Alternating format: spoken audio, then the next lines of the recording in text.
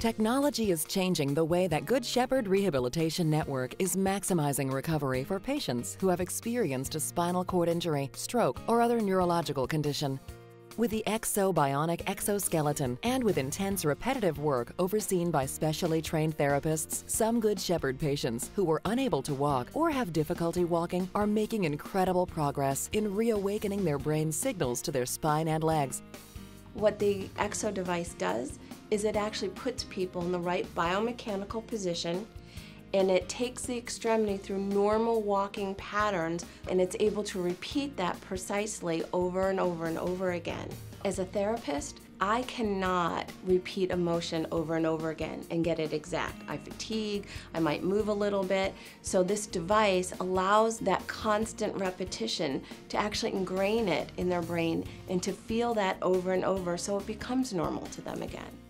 One patient who has made amazing progress is Kevin Olt. About a decade ago, Kevin suffered a snowmobiling injury that resulted in complete paralysis from the waist down. Today, Kevin is walking and has regained some lower body movement and increased his strength from his rehabilitative use of the Ekso. When I first put them on, the machine itself lifted me up out of my seat and stood me straight up. It was great. Think of the best sensation you ever had in your life and multiply that by a million that's exactly how I felt. You know, and then when I took my first step, my second step, it was it was like I was walking on air. Like like someone took something from me and put it back in me again. Initially, he was on a tether and he was using a walker. Now he's progressed to he can go all over the building. He's walking with Lofstrand crutches and now he is powering the device himself through his body movements.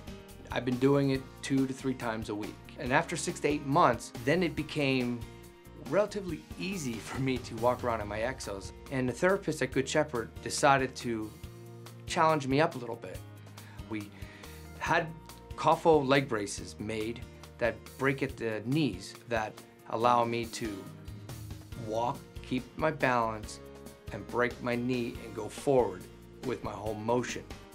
It has also allowed him to gain so much more um, body awareness where he is in space, which has improved his overall balance, and he's doing ramps. And now he has movement at his hips, at his knees, and he also has sensation from his waist down to his knees, which is amazing.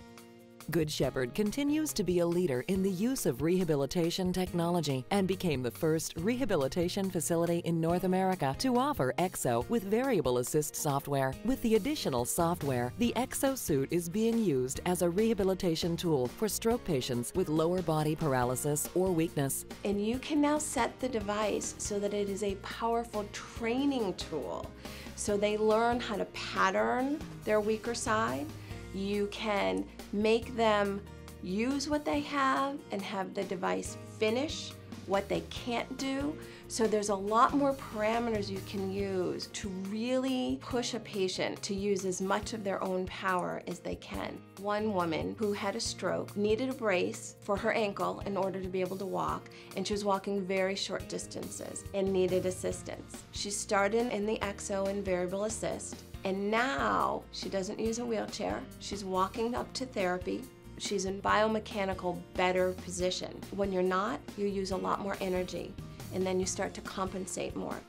There is certain therapies out there that work, work well, make you feel good, make you feel alive. 11 years ago, there was no thought of walking. Today, believe me, it's a possibility. There is no doubt in my mind that I'm not gonna walk. And Good Shepherd is the one that put me on that path.